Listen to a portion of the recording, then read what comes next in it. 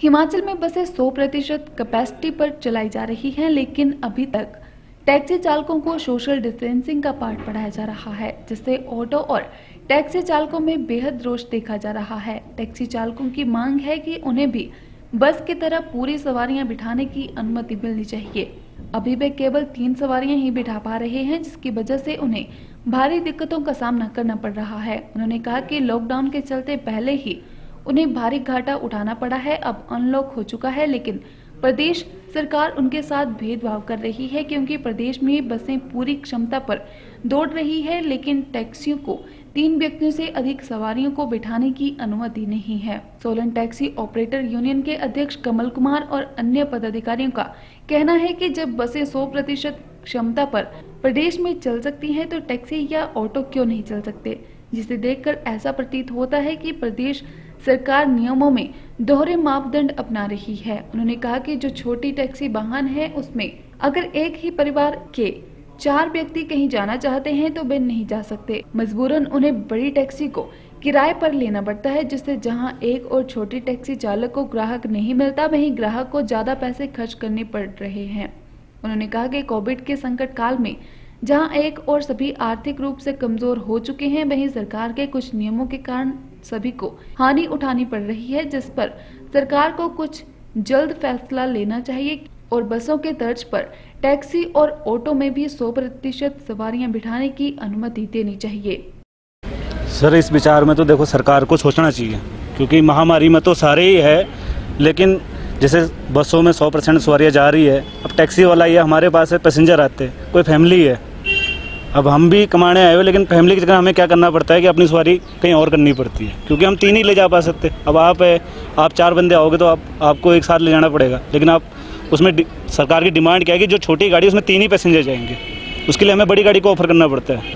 इसलिए लेकिन सरकार को करना चाहिए कि अगर जब 100 परसेंट अपनी बसों में कर रही है, प्राइवेट बसों में कर रही है तो हमारे लिए भी सोचना चाहिए क्योंकि हमने भी किस्त देनी है, हमने भी घर परिवार चलाना है अपना। समस्या ये आ रही है कि जनाब, कई बार ऐसा होता है कि चार सवारी आती है तो उसके लिए हमारी सवारी ख़राब हो जाती है मतलब क्योंकि अब हम अपनी सर्विस अवेलेबल कर ही नहीं सकते। ये तो सबको ही बताइए जनाब, देखो, बसों में सौ तो हमारे को भी चार करना चाहिए ना अलाउड तभी हमारे भी बिज़नेस चलेगा जो, वैसे तो सवारी है नहीं, लेकिन जो भी आ रही है, फिर भी कोई ऐसा होता है कि फैमिली के साथ चार बंदे आते हैं तो अब हमारी गाड़ी जाएगी नहीं, छोटी तो जाएगी नहीं, क्योंकि उसमें तो हम तीन ही ले जा सकते हैं। जब गवर्नमेंट ने बसों को जो 100 परसेंट सवारी के साथ परमिशन दे दी गई है तो उस हिसाब से जो है हमारे टैक्सियाँ हैं, जो उनको भी गवर्नमेंट को जो है इसमें हमारी भी 100 परसेंट जो है सीटिंग कैपेसिटी इसमें अलाउ करनी चाहिए, क्योंकि इससे तभी हमारा बिज़नेस बढ़ेगा। एक्चुअली इसमें होता है कई बार एक्चुअली कोई फैमिली आती है तो उसमें दो मियाँ बीवी होते हैं, दो उनके बच्चे होते हैं तो हमारे को तीन सवारी की परमिशन है।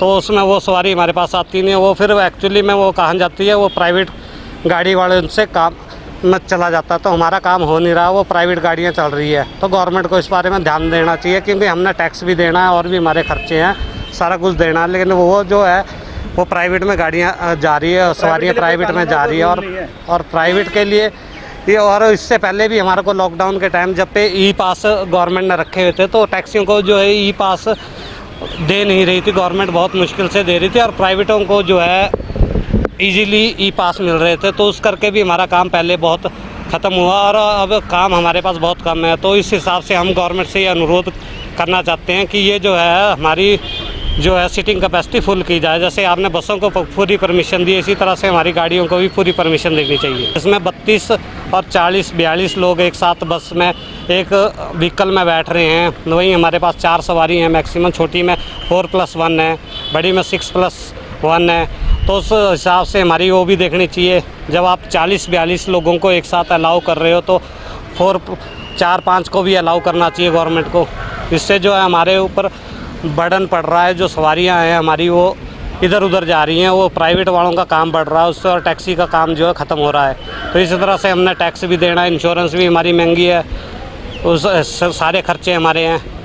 इस तरह से जो है ये हमारे को घाटा हो रहा है। ये लगता तो यही है कि बसों वालों के बारे में सोचते सोचते गवर्नमेंट जो है टैक्सी ऑटो वगैरह, ये छोटा है जो ट्रांसपोर्ट यूनिट्स है, उनके बारे में भूल गई है।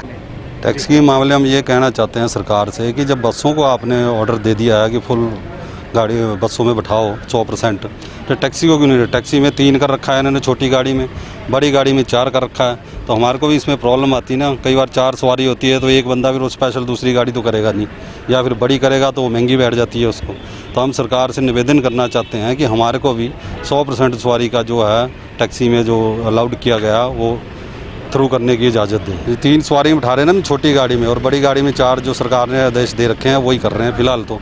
पर हम सरकार से चाहते हैं कि इसको बढ़ाई जाए तो हमारा भी कारोबार थोड़ा ठीक हो जाएगा। बिल्कुल नान, बिल्कुल नाइंसाफ़ी है सर हमारे साथ। जब बसों को दे दिया तो उसमें नहीं कोरोना आ सकता तो हमारी गाड़ी में क्या कोरोना आ जाएगा? तो हम तो चाहते हैं सरकार से कि हमारे को भी छोटी दी जाए, जब बसों को दी जा रही है। हम भी सरकार को टैक्स दे रहे हैं, कोई फ्री में तो चला नहीं रहे। पहले काम नहीं है। एक तो काम नहीं, कोरोना करके काम बहुत कम पैसेंजर आते हैं। जो आता है फिर वो उनको प्रॉब्लम हो जाती है कई बार। तो हम सरकार से ही निवेदन करेंगे कि हमारे को भी पूरी छूट दी जाए।